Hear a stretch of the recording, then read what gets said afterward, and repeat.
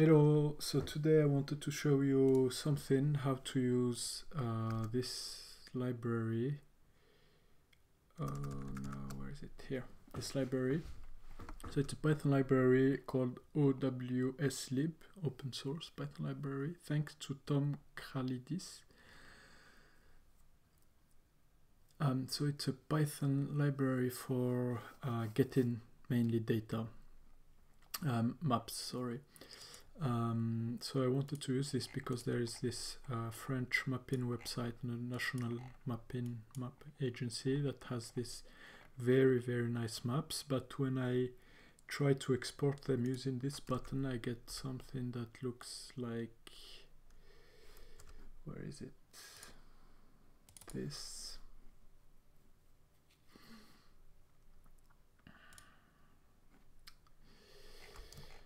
Uh, and in my opinion there is too much white around because usually you want to have multiple maps and you uh, I, I don't need this geoportail and all of this data. Um, so for this what I thought I could do was to use a script that would download the data and um, save them.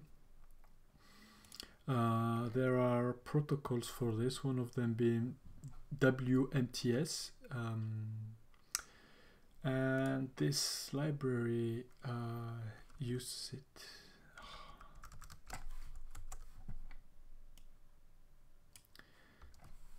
WMTS if I'm not wrong. TS yes so I, I use this but and applied it to my website. So if you go to how to use QGIS you can see here Oh, I'm on the wrong page. I think it's this one. No. Ah, it's this one, sorry, wrong website. Um, so if you, QGIS is a website used, uh, software, sorry, used for mapping. And if you go down here, so this is another protocol, but I didn't make it work. You need, uh, it does work, but the problem is that you need the key and for the key you need a professional account and I didn't manage to get this. Um, so here if you go to uh, WMTS you copy this. You replace this uh, by the key. They, they have a test key called pratique. Uh, I will show you um, how this works so here is the python script. So the first one uh, to, to install the library just pip install. So uh, I installed the library then I create this object where I put the, the map where the, the URL of the map. So with this key pratique but it's better to get a professional key. And then uh, what I'm missing here is uh, print our print I would like to print all of this up and in between just a few dashed lines.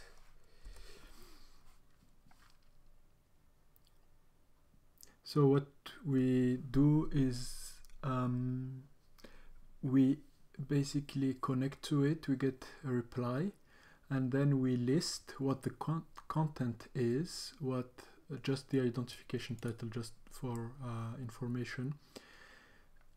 And then we save it somewhere. And uh, some of the information for example this th I, I got this from this list. And actually you can if I if I copy this this is one type one type of maps but the website offers uh, way more maps so you can see all of these. The one actually I'm, I'm interested in is uh, called scan25 it's this one so I should put this instead but the open key doesn't allow um, doesn't allow um, to have access to this so I need to ask for a professional um, key. Meanwhile I can run this script so you can choose the, the important here uh, information is tile matrix. I don't know how exactly they work, but row column, so you can imagine some kind of grid. So from what I think, um, I think it's so if we type this on Google,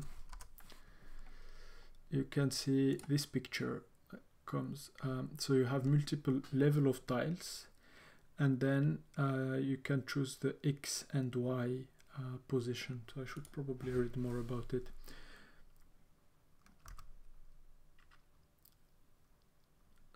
So that's why I chose 5 5 and uh, I will show you. So if I run the Python script, so you can see the two information, two types of information you can get. You can get the picture, orthogonal photography or map. And this is the, the, the picture we get. And if I choose, uh, for example, here, let's choose one let's leave it 5 no let's move it down to 3 and then here choose 5 no sorry 4 or 2 no or 3 and then I run it again. You can see that I get another map which is I think more focused or less focused less focused. Um, what we can do is change this orthogonal photography for a map. So up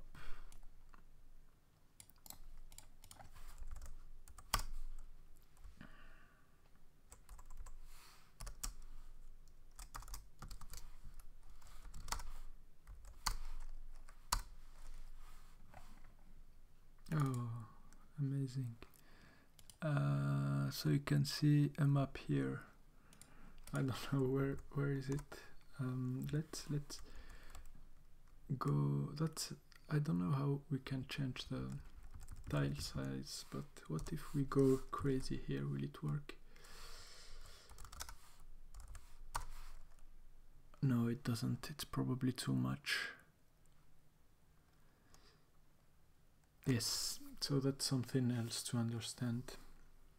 I hope this was helpful. Bye.